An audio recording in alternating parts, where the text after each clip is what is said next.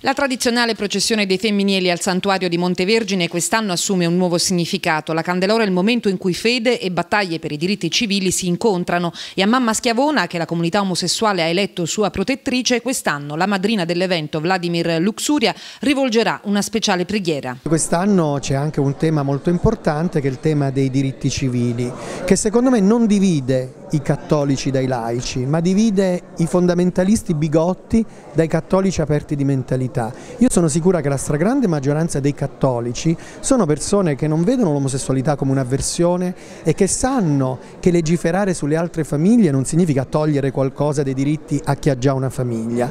Quindi io vado anche quest'anno da mamma Schiavona a chiedere una mano a fare una preghiera affinché venga approvata la legge sulle unioni civili. Io sono sicura che mamma Schiavona nell'immensità della sua bontà non abbia bisogno di intermediari ecclesiastici, mi basta lei e magari se viene approvata questa legge potrò dire che mamma Schiavona è più forte di tanti bigotti del Family Day. L'ex parlamentare ha incontrato gli studenti del liceo artistico De Luca. Il convegno voluto dalla dirigente Maria Rosaria Siciliano è incentrato sul tema della diversità. Sul suo profilo Facebook Franco D'Ercole, esponente del nuovo centrodestra, ha polemizzato con la scuola ritenendo che Luxuria non abbia i titoli per parlare di educazione sessuale agli studenti. Io non sono venuta a fare educazione sessuale, io sono venuta qui a parlare oggi di diversità, sono venuta a parlare di bullismo.